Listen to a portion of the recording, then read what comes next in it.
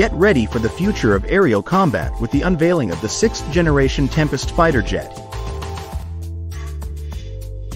Developed under the Global Combat Air Program, GCAP, by the UK, Italy, and Japan, this cutting-edge aircraft will feature directed energy weapons, including lasers.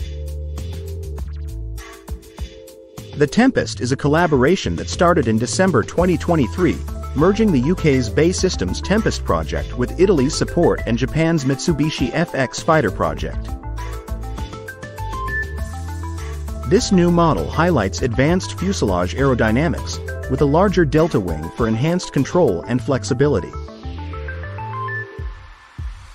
Angled air intakes improve stealth, and the S-shaped duct in front of the V-tail reduces the radar signature.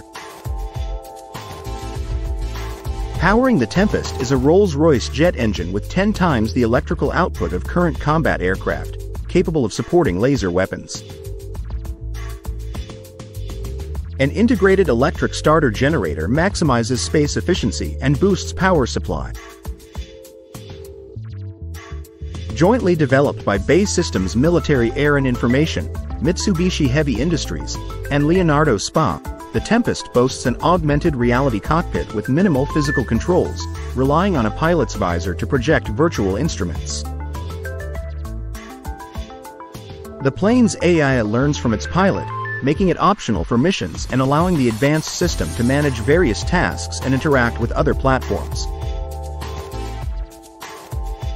Equipped with Leonardo's next-generation radar, the Tempest provides 10,000 times more data than existing systems.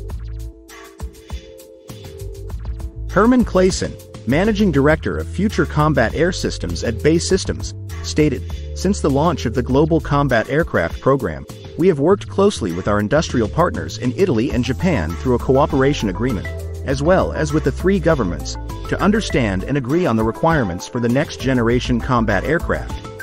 Join us as we explore the groundbreaking features of the Tempest fighter jet and its role in shaping the future of military aviation.